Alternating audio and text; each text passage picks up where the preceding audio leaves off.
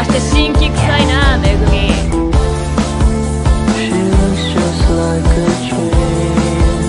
The prettiest girl I've ever